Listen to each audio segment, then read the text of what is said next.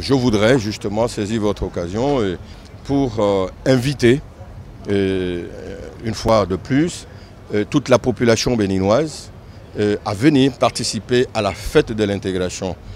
Dire à la population béninoise que c'est notre fête, la fête de l'intégration, que nous avons eu l'honneur d'être choisis comme pays hôte pour organiser cette fête-là. Donc il faudrait que nous démontrons davantage aux sept autres pays, y compris le Bénin, que nous sommes très intéressés par cette foi. Nous, nous avons aussi pour le 3 la journée ivoirienne. Cette journée est une journée très attendue.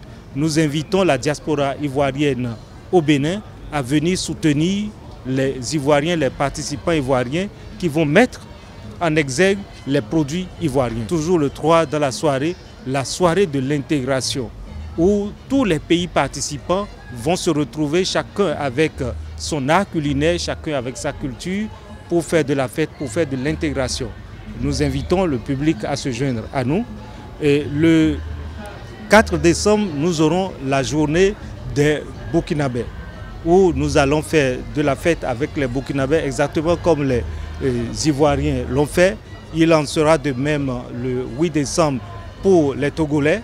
Nous aurons, au-delà de ces événements-là, nous aurons surtout une sélection que nous appelons Fashion Challenge, une sélection pour primer les meilleurs stylistes de l'espace UMOA. Ça va commencer demain, le public peut venir demain voir les tenues en compétition.